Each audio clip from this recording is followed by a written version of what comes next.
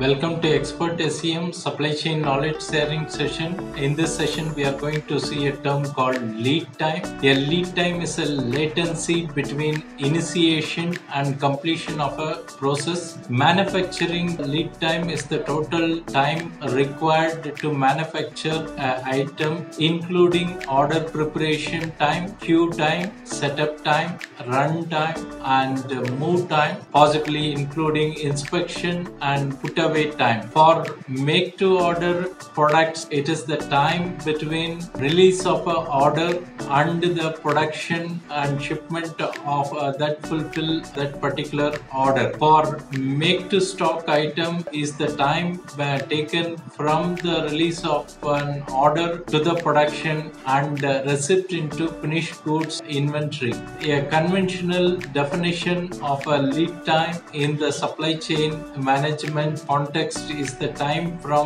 the moment the customer places an order to the moment till it is ready for delivery. So uh, here we are talking about the lead time which is required by the customer or uh, the product manufacturing time and it can vary in between different uh, formats of production strategy like make to order, make to stock or assemble to order and uh, currently customers want this time to be reduced to the lowest possible time. And also when the lead time is less it is always possible to pull the item instead of pushing the item. And this is what is uh, being used in lean manufacturing. Thanks for watching.